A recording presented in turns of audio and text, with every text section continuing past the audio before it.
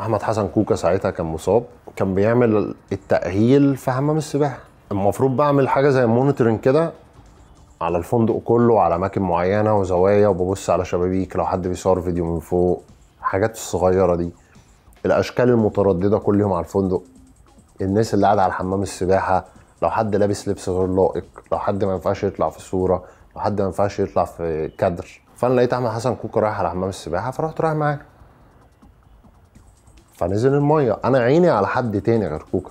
فهو ماشي هو المدرب المفروض بيمشوا على حمام السباحة برجلهم كده تمارين معينة بيعملوها.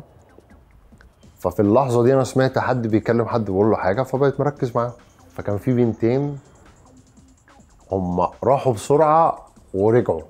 هو ماشي بالراحة. هو جاي كده وهم جايين كده. بعد كده لقيتهم بيقربوا.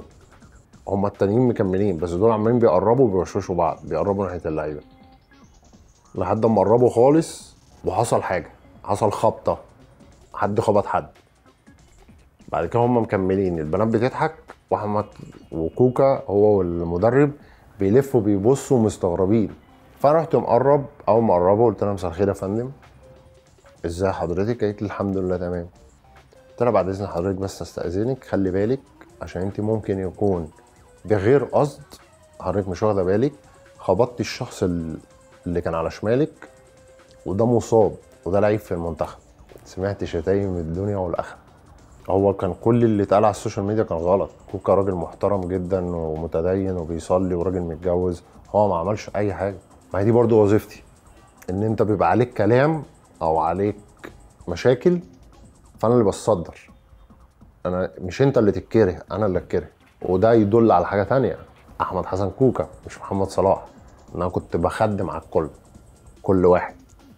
بس في فترة بيبقى الأكتر شعبية بيبقى محتاج شغل أكتر فأنت بتساعد الكل بعد كده بترجع تاخد آخر واحد. اللي حصل ساعة حوار عمرو وردة في المنتخب اللي مصر كلها عارفاه. أنا عن نفسي اتفاجئت.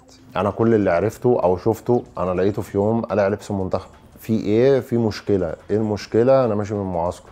أنا فاكره بيشتغلني ولا بيهزر بعد كده عرفت اللي حصل. بعد كده في لعيب معين قال لي ده ما ينزلش من الدور ومش صلاح عشان ما حدش يطلع إشاعة ويحرف كلامي. في لعيب معين يعني قائد في المنتخب واحد من الناس اللي بتحتوي اللعيبة واللعيبة بتحبه هم بيحبوه قال لي ده ما اتحركش من الدور. طبعا كان الإعلام كله والناس كلها تحت مستنياه يصوروه خارج من الفندق ولو هيخرج من معسكر هيخرج من باب تاني. يعني إحنا كنت أنا والناس اللي في الفندق بنجهز الطريقة اللي هيخرج بيها من الفندق. يعني إحنا كنا مشغولين بحاجة يعني الأمور الإدارية والأمور اللي بين اللعيبه أنا ماليش دخل بيها ولا بقعد فيها. أصل أنت برضو في حدث زي ده ولعيب برضو كان بيمثل منتخب مصر أنا مش ماليش دعوة بالشخص أنا ليا دعوة بلوجو منتخب مصر اللي على صدري والكلمة اللي مكتوبة على ظهري. أنا كل اللي كان فارق معانا إحنا كوظيفتنا إحنا هنشوف الطريقة اللي هو هيخرج بيها من الفندق من أنهي باب وإزاي. عشان أكيد طبعا كان في تجمهر تحت في الريسبشن وعلى باب الفندق صحافة وإعلام وجمهور وأكيد كان في ناس غضبانة. فأنا برضو مش هعرض حياة اللاعب للخطر واسيبه ارميه في التهلكة. أقول لهم خدوه كلوه. قرار التضامن ده أنا مش آه، ما حضرتوش أو ما أعرفش حاجة عنه بس ما أعتقدش إن كان في تضامن بالطريقة اللي الناس اتكلمت بيها. يعني مش مش تضامنه قوي كده. مش يعني في لعيبة الجمهور المصري مش لهم الليلة وهم ما لهمش علاقة. يعني جوه كواليس الكواليس هم ما لهمش علاقة بالطريقة اللي الناس مش الناس متحاملة عليهم. بس أنا فاهم ومقدر ناس متحاملة عليهم ليه. الناس متحاملة عليهم عشان ما فيش حد طلع يتكلم في الكواليس وكانت في حاله غضب كبيره الناس بتحب المنتخب وكان نفسها تفرح. كواليس الكواليس دي بقى ليها ناسها هم اللي اتكلموا فيها مش